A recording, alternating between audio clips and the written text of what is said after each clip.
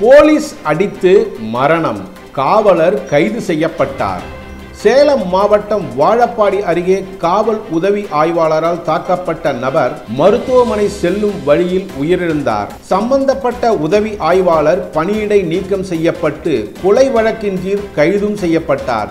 சேலம் மாவட்டம் இடையப்பட்டியைச் சேர்ந்த முருகேசன் விவசாயம் பார்த்து வந்ததோடு மளிகை மற்றும் பழக்கடையும் நடத்தி வந்தார். குடிப்பழக்கம் கொண்ட முருகேசன் கள்ளக்குறிச்சி மாவட்டம் வெள்ளிமலை பகுதியில் மதுக்கடைகள் திறந்திருப்பதை அறிந்து செவ்வாய்க்கிழமை நண்பருடன் சென்று மது அருந்துவிட்டு கர்மந்துறை வழியாக திரும்பி வந்துள்ளார். ஒரே சக்கர வாகனத்தில் முருகேசன் உட்பட மூன்று பேர் வந்து கொண்டிருந்ததால் அவர்களை பாப்பநாயக்கம்பட்டி சோதனை சாவடியில் போலீசார் மடக்கி வாகனத்தை பறிமுதல் செய்ய முயன்றனர். வாகனத்தை பறிமுதல் செய்தால் தாங்கள் எப்படி வீட்டிற்கு செல்வோம் என்று போலீசாருடன் முருகேசன் வாக்குவாதம் செய்ததாக கூறப்படுகிறது. இதனால் அங்கு பணியில் இருந்த ஏத்தாப்பூர் காவல் உதவியாளர் பெரியசாமி முருகேசனை லத்தியால் தாக்கியுள்ளார்.